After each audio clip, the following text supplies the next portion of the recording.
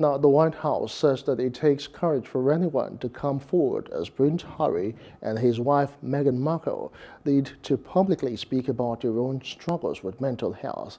Meghan, whose mother is black and father is white, in an interview with Oprah Winfrey aired on CBS late on Sunday, said she was pushed to the brink of suicide after marrying into royalty in 2018 of us caught the interview. Uh, I don't have uh, I don't have as many Americans did, and many people around the world. Um, you know, Meghan Markle, Markle uh, is a private citizen, and so is Harry uh, at this point.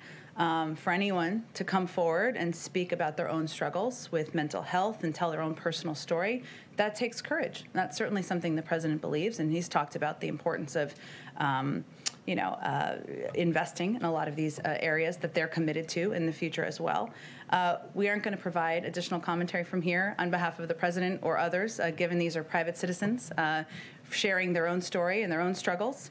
Um, and let me just reiterate that we have a strong and abiding relationship with the British people and a special partnership with the government of the United Kingdom on a range of issues, and that will continue.